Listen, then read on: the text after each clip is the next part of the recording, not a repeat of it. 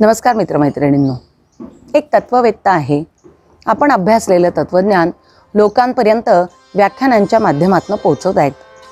त्यांनी एकदा विचार केला दरच वेळेला आपण व्यासपीठावरनं फक्त बोलतो यापेक्षा काहीतरी वेगळं करू. आणि मग यांनी एक मोठा पांढरा पडदा घेतला. त्याच्यावरती एक इंच व्यासाचं छोटंसं काळं वर्तुळ काढलं आणि आता मात्र यांनी यांची स्टाईल बदलली. व्यासपीठावर गेल्यानंतर हा पांढरा पडदा आणि त्याच्यावरती असणारं हे काळं वर्तुळ असा एकत्रित तो पडदा लावला जायचा. आणि हे व्याख्यानाला उभं राहिल्यावर विचारायचे काय दिसतंय? तसं श्रोत्यांमधला एक जण उठून उभा राहून म्हणाला काळं वर्तुळ काळा डाग दिसतो आहे.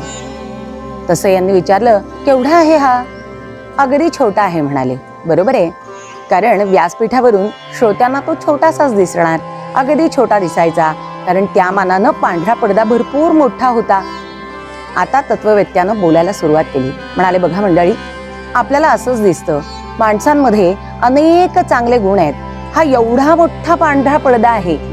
तो नाही आपल्याला दिसला पण त्याच्यावरचा असलेला छोटासा डाग दिसला. खरंय अनेक गुण असतात आपल्यात. पण तरीही समाजामध्ये या गुणांपेक्षाही आपल्यात असलेल्या दुर्गुणांची वारंवार जाणीव करून दिली जाते. काय म्हणावं याला? याला एवढंच म्हणावं आपल्यातला हा छोटासा असणारा जो दुर्गुण आहे ना तो दूर करण्यासाठी सातत्यानं ही सकारात्मक ऊर्जा आपल्याला सुधारण्याच्या कामी मदत करते. हो की नाही? धन्यवाद.